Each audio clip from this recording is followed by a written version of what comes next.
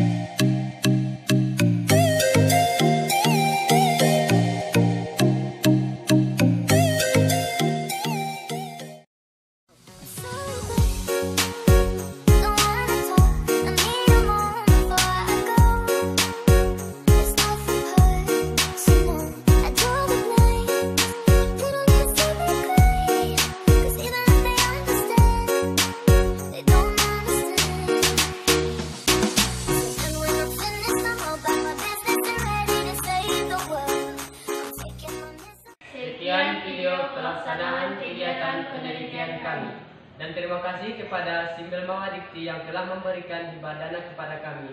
Dan juga terima kasih kepada Universitas Muhammadiyah Tapanuli Selatan yang telah memberikan fasilitas terhadap penelitian kami ini. Assalamualaikum warahmatullahi wabarakatuh.